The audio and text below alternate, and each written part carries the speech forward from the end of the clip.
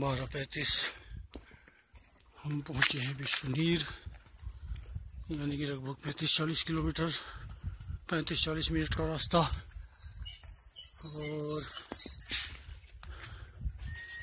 Plane में लगभग दस एक किलोमीटर का सफ़र दस मिनट में हो जाता है। यहाँ बीस मिनट लगा लो तो दो किलोमीटर तो है ही।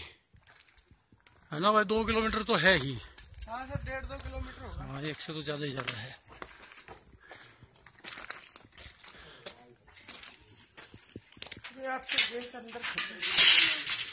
प्रणाम जी प्रणाम भाई प्रणाम। ठीक है।